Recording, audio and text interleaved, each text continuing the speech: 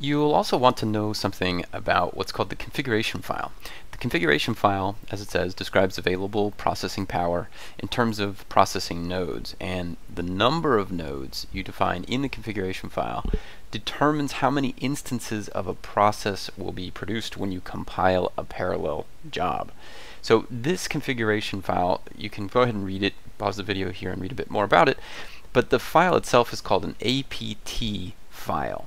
And in fact, you'll see this, uh, here, let's go in here.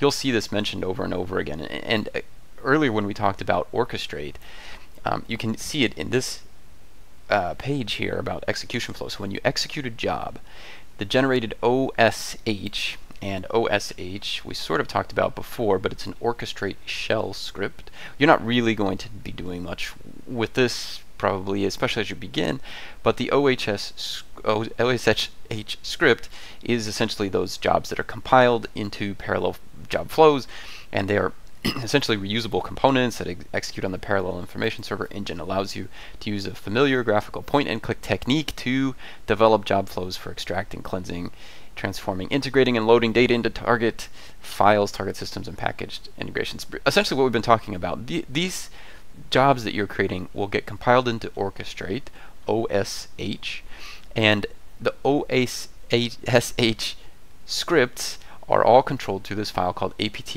config file and those are used to create a score and you can read about this uh, here.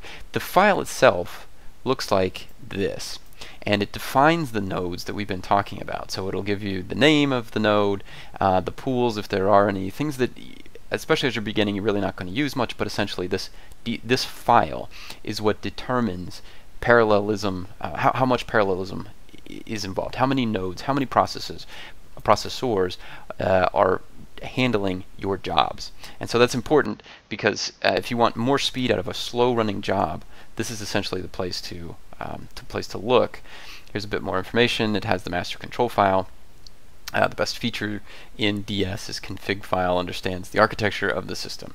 So it uh, again, it describes the degree of parallelism.